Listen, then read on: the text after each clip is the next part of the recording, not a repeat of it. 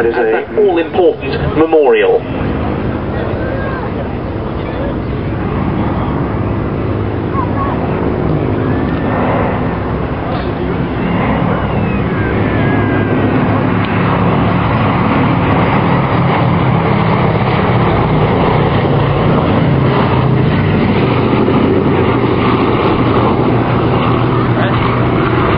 in terms of the B-17's involvement in the Korean, War. we think of the Mustang largely as one of the outstanding fighters of the Second World War. But it was an outstanding fighter in the early part of the Korean conflict too. And this very Mustang that we see before us, today named Miss Velma, is itself representative of the playing role in the Korean conflict. It was built as a single seat P-51D at North American Aviation's plant in Dallas, Texas. One of the last Mustangs to roll off that particular production line, and there's evidence that it served with the 45th Tactical Reconnaissance Squadron of the US Air Force at Kimpo Air Base in South Korea from September 1951 during the Korean War. There were a couple of reconnaissance units equipped with Mustangs during that conflict.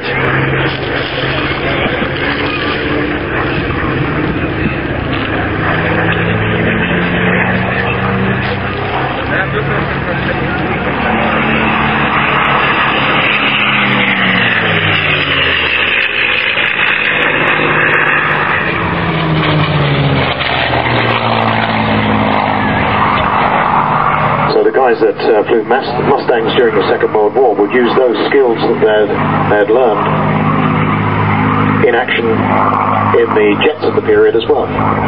Because the principles remained pretty much the same. Or indeed, possibly, still in Mustang. Indeed so, yeah. It wasn't until January 1953 that the final remaining US Air Force F-51 Mustangs were withdrawn from service in Korea as the unit prepared to transition to the Sabre. Final pass then from the Korean War veteran TF-51D.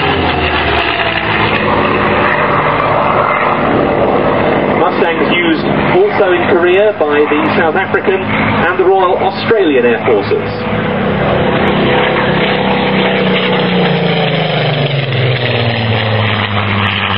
All those years ago.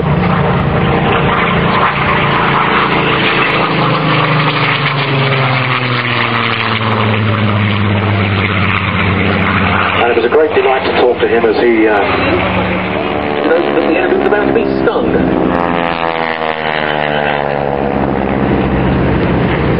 They'd mark their targets with phosphorus or smoke rockets.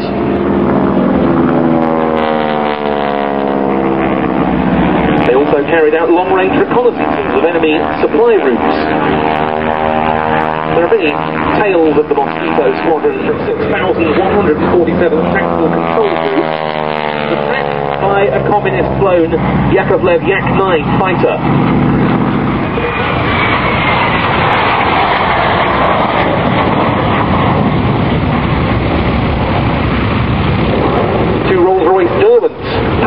This aircraft. The first prototype was actually powered by two of the Frank Whittle designed Rover-built W2B engines. But problems meant that the fifth prototype Meteor was actually the first to fly on the 5th of March 1943. That aircraft had two Halford H1 power plants, that being the unit that was later developed into the de Havilland Goblin.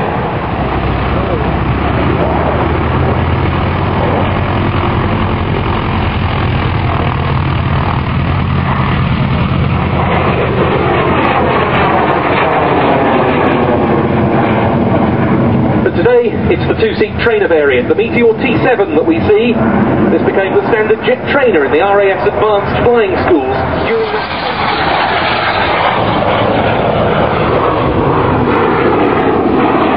subsequently painted in the Chinook paint shop at RAF Odiham in Hampshire and ferried to its new base at the excellent airbase facility at Coventry Airport on the 24th of August. And fittingly, members of Meteor Flight were there to greet it, for it was they who set the aircraft on the road that's now led to it making its display debut here at Duxford. It's one of four Meteors airworthy in the UK, Air Atlantique's NF-11 night fighter being one of the others, and then there are the two T-7s used by Martin Baker for ejection seat trials.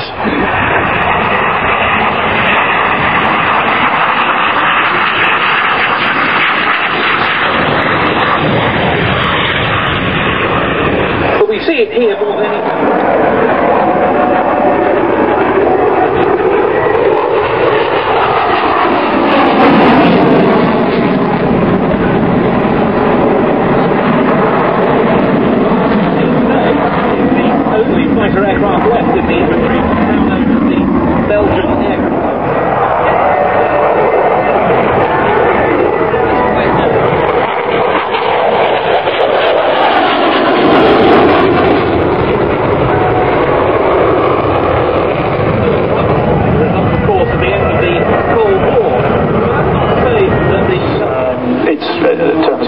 forever and a day.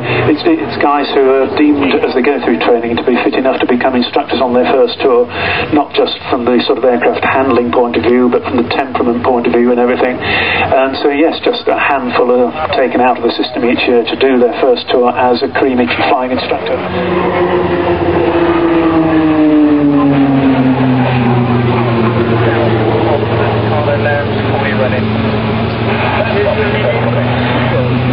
So what would the Tucano instructor be looking for in a student?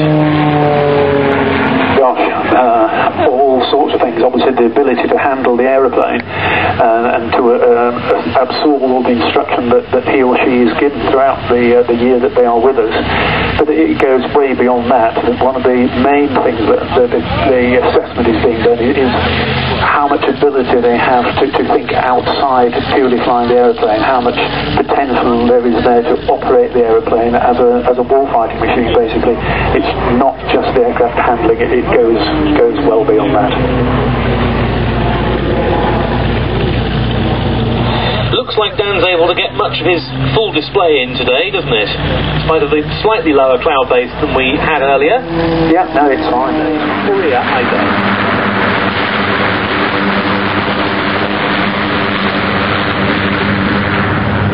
These two together is a great photo opportunity here.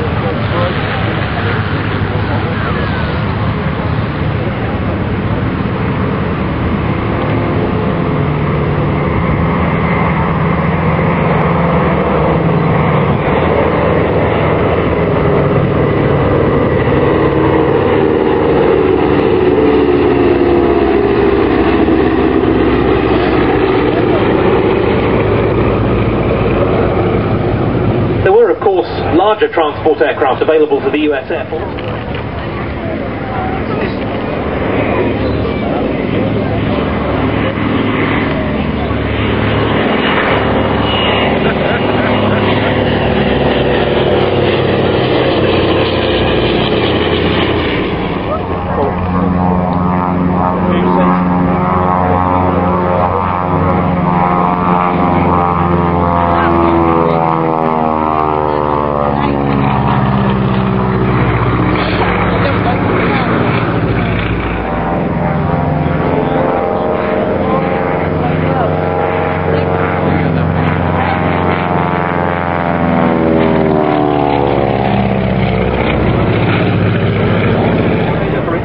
Its single Wright R33 50 of 2,700 horsepower, the Sea Fury 2,500 from its Bristol Centaurus. Running in once more.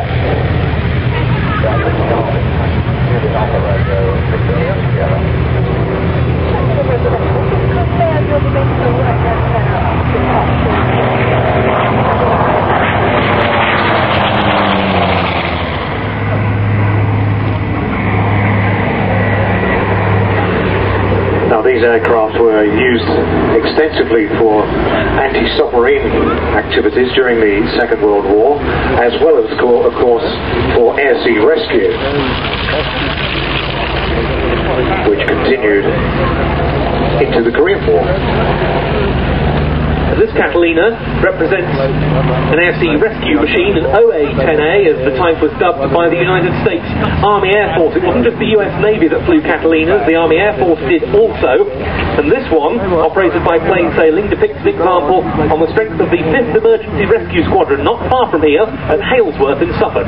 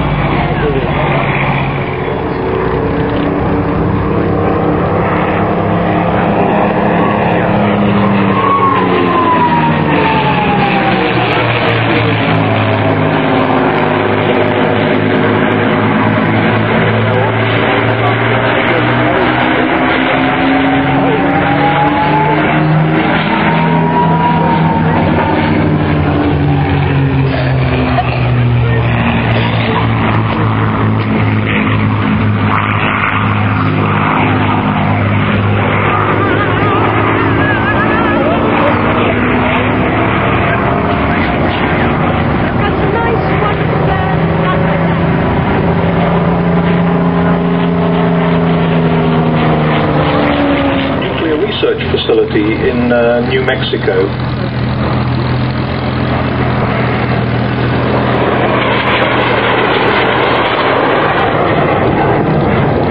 So, and it was based at March Air Force Base for about three years or so till it was superseded by the E model and it reverted to the California Air National Guard where it spent the rest of its flying life on various units. Mark's flying it today between 3 and 350 knots in order to keep it within sight uh, of, of everybody here without exceeding the 4G drop tank limit.